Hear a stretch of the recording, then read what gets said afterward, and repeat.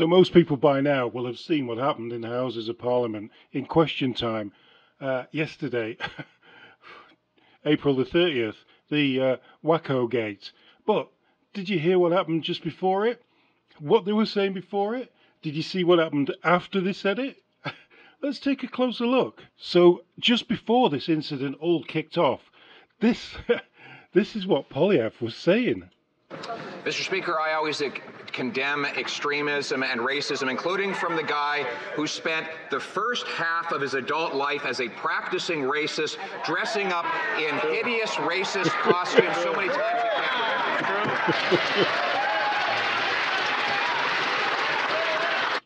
So, yeah, that didn't go down well to start with. So, the Liberal House Speaker, Mr. Fergus, yeah, Liberal House Speaker, he asked Poilievre, would you please rephrase that? so uh, this is what he said. Mr. Speaker, I condemn, I condemn a prime minister who allows the IRGC, which murdered 55 Canadians, to remain legal, and I condemn a prime minister who allows open use of crack, heroin, meth, and weapons in hospital rooms that threaten nurses and on school buses next to children. Will the prime minister reverse his extremist policies and there he's he's calling it extreme. I've had to I've had to drop the volume and i have added the words in that he said, but because YouTube won't allow some of the words that Poilievre even said in, in Parliament this time, he he he's he's he he gunned for uh, for for Trudeau, really gunned for him. So Trudeau had um, a, a minute here to just have his little rebuttal. Let's have a listen to what he had to say, and then then it kicks off. Mr. Speaker, the leader opposite is showing us exactly what shameful, spineless leadership looks like. He shakes hands with white nationalists and then goes to actively court the support of those members and has the nerve. Get it together, Craig!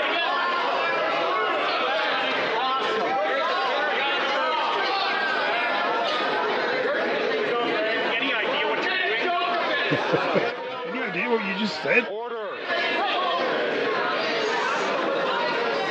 This is this has never happened before in Canada.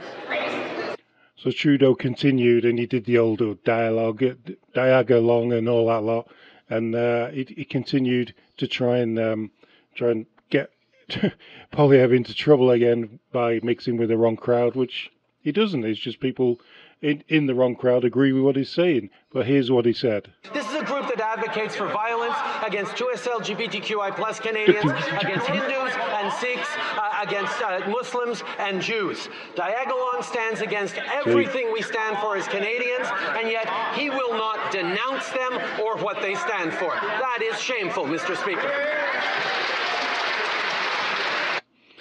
That the Diagolon thing is stupid. It was just a it was a. I, put it in one of my previous videos when you see Poilievre go into the one of the uh, protests at the border, and as he comes out of one of the trailers, you just see a little scribble on the door. That's it. That's all he's got. You know, it's not like Poilievre invited a nasty person into Parliament. I gave him a round of applause now, is it? Anyway, let's move on and get. Now we'll get to the uh, the the main the main event. Mr. Speaker, that, like everything else he says, is false. He uses fears and fear and falsehood and this latest exactly. distraction because he doesn't want to face the fact that he has become so extreme and radical that even the BC NDP is distancing himself themselves from his decriminalization of crack, heroin, meth, and other hard drugs in hospital rooms causing nurses to have to stop breastfeeding their babies for fear that their contaminated air might end up in the breast milk of the baby. Why won't he ban these drugs? The Right Honourable Prime Minister. He will still won't condemn these groups. Since the NDP has asked him to reverse course on his and formerly their radical policy, 22 British Columbians have died of drug overdoses. But he continues to allow those drugs to kill the people in our hospitals and on our public transit. When will we put an end to this wacko policy by this wacko Prime Minister? There you go. No. No. No. That is not. Ex- there are a couple of things which are going on here today. There are a couple of things going on here. One, Poilievre is telling the truth. And two, Trudeau is lying. Two things. They're both going on at the same time. Anyway, Fergus gets upset and asks him to change what he says or retract the wacko part. I'm going to ask the Honourable Leader of the Opposition one last time to please withdraw that comment and simply withdraw that comment. I simply withdraw and replace with the aforementioned adjective. For disregarding the authority of the chair.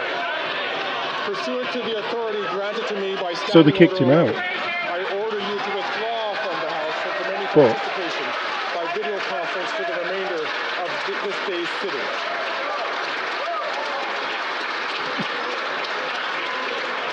This guy.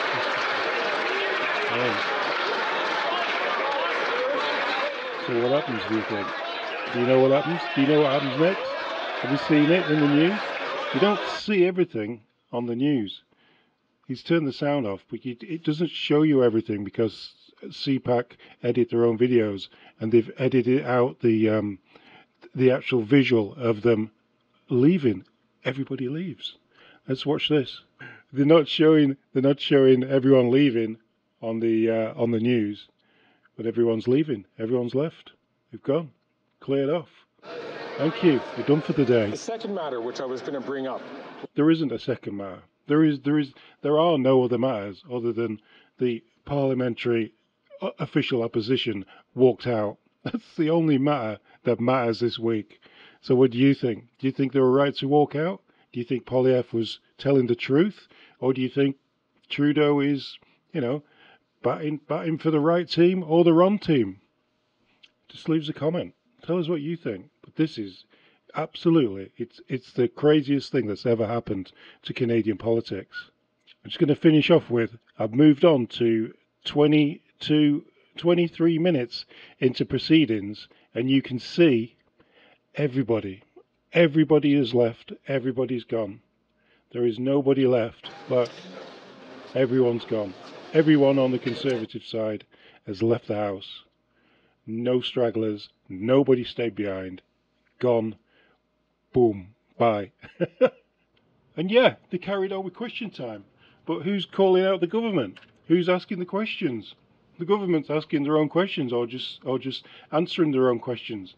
The biggest question is here, will the Conservative government come back into Parliament, come back into question time, and will the 2024 budget go through now knowing that there's no one there to vote for it? There's no one there. They're not there. It's it's cr- crazy times, guys. Crazy times. Canadian politics.